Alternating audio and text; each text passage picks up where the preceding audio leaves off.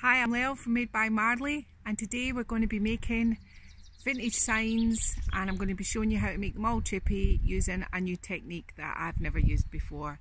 So if you're interested in doing any of these things, just follow along. I started with a piece of wood, it was just a piece I had, it was off an old bed and what I did was I banged it and hit it off things, I scuffed up the edges, I put nail holes into it, just to give it that it's not it's not a brand new piece of wood. Look you know something that's been around for ages.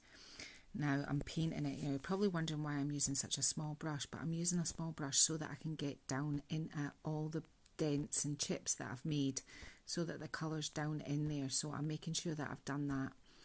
The piece of wood I had had like a kind of block at the bottom um, and I thought that gave it a little bit more interest for a sign so I, I chose that piece you can see what I'm doing with my brush strokes. What I'm doing is I'm not tidying them up. I'm keeping lots of texture in the paint I'm using.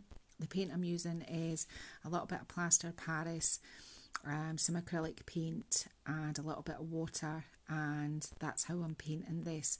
There was a slight sheen on it so I'm going to have to make sure that I seal it but with putting the plaster Paris in this paint it's when it's on it's on kind of thing so this is my base coat I'm just making sure that I do on my sides because this is going to go on my greenhouse and you're going to be looking at it from all sides. The weekend project um, that Martin and I, um, the other half of Made by Marley, did at the weekend is we um, clad our greenhouse with old sash windows and this is a sign to finish it off. So what I'm doing now is I'm just putting lots of splodges of colour onto the board so that when I do the next step some of these colours will show through. Now, I read this in a blog and I've never done it before that if you rip off little bits of paper and put them across your bits of wood, the, the, the chippy bits that you want the colours to show, and just apply it with water and then let it dry and paint it and you can pick them off. I've never done this. This is not how I normally do chippy signs. I normally do them with a heat gun and some Vaseline and lots of different things. But I thought I'd try this one because can, it's one I can do in the studio. Um, so here I am now. I'm just getting all my little ripped pieces of paper and I'm putting them all over the board. You'll see later on they were quite tricky to actually find at the end of the day and although I did like this effect, I think there's other ways you can make wood look chippy other than this way, but it is another way of doing it.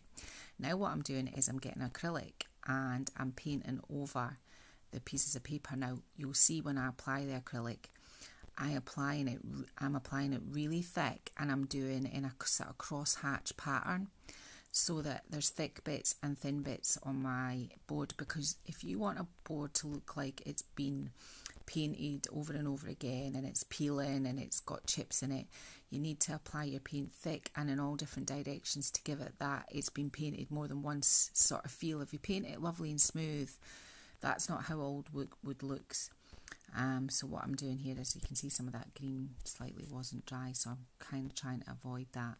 And I'm still putting it on in this sort of crosshatch, lots of thick bits, lot of thin bits, all over my little pieces of paper and the bits of colour that I put on previously. Um, that was one bit there that came off, so I just kind of stippled some bits over it just so I could still have the colour. I'm making sure that I do all the edges because the edges are the bits that give away whether it's a new piece of wood or an old piece of wood. I've let it dry and this is me. I've just I've been doing it for a while. I just didn't think you'd want a whole section of the video of me peeling the bits off. But all the colours from underneath are starting to come through. I'm just using a little clay tool with a pointy end. There's a close-up of how it looks with all the chips. It did work quite well actually when you see it the way it, it is. I made a stencil on my cameo silhouette, but you can use just an ordinary mylar stencil or you can hand paint onto these. Before I had the silhouette, I used to hand paint all my signs, but this is just a quick way of doing it. So I've just used the contact um, shelf lining paper that you get, um, which is much cheaper than using your vinyl, and I've just cut it out of that. I'm just doing a sort of gardeny sort of word. So it's about, you know, Sutton's as a seed company. So I'm just doing Sutton's and just made the rest up. Um, quality for growers kind of thing, you know, what I want, because I am thinking about, you know, where this is going to finally go, which is my greenhouse. So um, I'm just flat brushing it, I'm doing the pouncing way. I do a stencil lots of different ways, but for this, because it's got lots of holes and chips in it, I'm using a flat brush and I'm pouncing down into the the paint and I'm making I made very sure that my stencil was completely flat on and stuck to the piece of wood before I stenciled it to make sure that I didn't get any um, bleeding underneath my stencil. I'm removing my stencil which has come out nice and I'm just weeding out all the pieces in between my words just to finish that off. It came out quite nice so I was quite happy with that. Um, I'm just grabbing all the little bits. So that's our words on. And now next I'm going to I, I cut out my some roses from a piece of napkin which I took the plies off the back to be left with just the image on the front and they were of roses and they go with the sign that I'm trying to create for my greenhouse if you kind of think about a napkin of what you want to put on it, it they're always really good for making things look really quite slick and I'm just applying my flowers onto my board um, Mod Podge on the bottom the napkin on the top and a big coat of Mod Podge on the top of it and paying particular attention to the edges so that when this, because this is going to be outside in all weathers and I don't want the flowers lifting off, you can't see me right now on camera but what I'm doing is I'm applying a flower to the other side, that's me moved it over so you can see it. It's quite a big piece of wood so uh, there's quite a lot of bits that it's not always on camera. I'm going around all my edges and you can see I'm putting a lot of Mod Podge on it. I'll give you a close up of this a couple of minutes and you'll see just how much Mod Podge I actually put on, which was a lot. And it's the hard coat Mod Podge which makes it extra durable. I'm putting some on that little ledge that just happened to be on my sign. So, so far it's looking aged, it's looking chippy. I'm happy with it. Um, I'm just gluing on the rest of these flowers to make it look like they were originally on the sign. Making sure that I put plenty on. And you, you'll see in a minute I actually go back over it again with Mod Podge once I've done it. And I do it again actually off camera. So it's had three maybe even four generous coats. This is me just going over the whole thing again of Mod Podge. And I, I then I let it dry completely um, it was warm in the room so it was drying pretty quickly so I just kept coating it over and over again um, really making sure that everywhere that's going to be exposed this is going to be varnished and sealed so I'm not too worried about it now that it's had quite a lot of protection.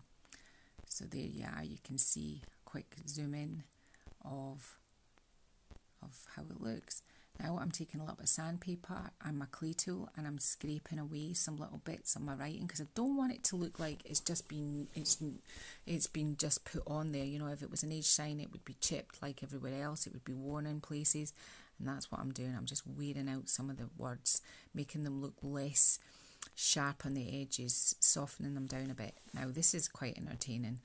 I have some old um, varnish which has literally gone off. It's turned yellow, but I keep it because it's perfect for yellowing up wood um, and aging things. So what I'm doing here is I'm just going running it along the edges, running it along the decals of the flowers, some of it in between the words. And now I've got a dark stain. And what I'm doing now is I'm just putting some dark in it and I'm rubbing it back with my hands just to give it that aged particular attention at the edges. Um, I'm making sure that I get it right down into the where the dirt would have settled in the sign and I'm rubbing it back. Make sure you do your edges as well because that's going to be seen too. And if it was an old sign, it wouldn't look crisp and clean on the edges, it would look dirty. So that's all I'm doing there, just with these two. I'm mixing them together, the, the off um, varnish, and there we have it. That's all my, I've left quite a bit of white, but dirtied it, really kind of made it dirty around the edges and my decals are all stuck down. So this is being made by Marley. If you like my videos, please, please share them and subscribe. And if you've got any comments, leave them in the comments below. Thank you.